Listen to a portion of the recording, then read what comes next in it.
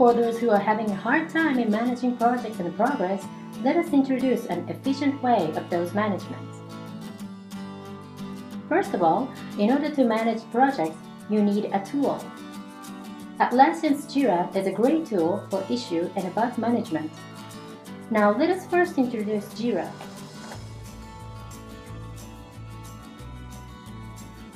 Jira is a project management tool and helps project execution.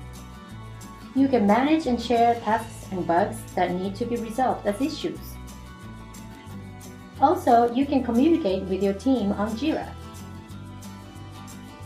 Furthermore, projects can be managed by being visualized with lists and charts.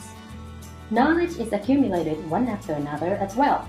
Work logs of one user become an asset for everyone. That is really great. Jira is brilliant as a tool for issue and bug management. However, there's a little difficulty in planning projects and managing progresses.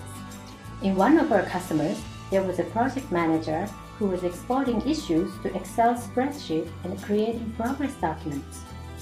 When trying to do the progress management in Jira, everything needs to be done in Issue Navigator screen.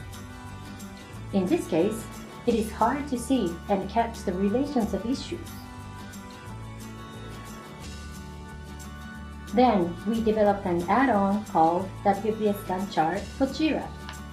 In WBS Gantt chart for Jira, schedules of issues are so clear. You can also catch the relations of issues more easily. As a feature, WBS and Gantt chart are in one screen. There are WBS feature displaying issues hierarchically and Gantt chart feature displaying the whole schedule of a project. Now let us demonstrate WBS Gantt chart for Jira.